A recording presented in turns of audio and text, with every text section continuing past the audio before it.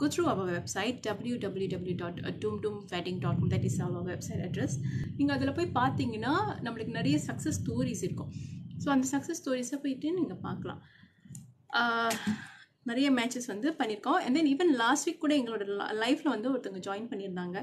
So she say that she found her life partner on Dum two matrimony site so இந்த meets நிறைய பேர் வந்து இந்த meets of you know their communicating அடுத்த கட்டத்துக்கு போகிறதுக்கு போயிட்டுருக்காங்க.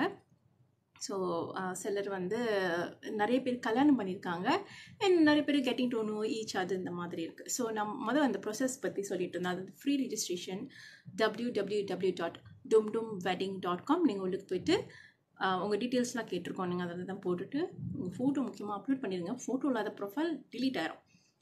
இப்போ நம்மளே வந்து ஒருத்தவங்கள ஒரு ப்ரொஃபைலை பார்க்குறோம் பிக்சர் இல்லைன்னா நீங்கள் எப்படி அது வந்து இன்ட்ரெஸ்டாக இருப்பீங்க? இல்லைல்ல. ஸோ பிக்சர் வந்து impression that is very important so கண்டிப்பாக உங்கள் பிக்சர் போடுங்க.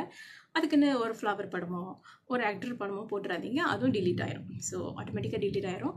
ஸோ அப்படி நீங்கள் அந்த ப்ரொஃபைலில் சில ஐ மீன் அந்த வெப்சைட்டில் நீங்கள் பார்த்தீங்கன்னா இன்னும் சில பேர் வந்து ஃபோட்டோ அப்லோட் பண்ணலாம்.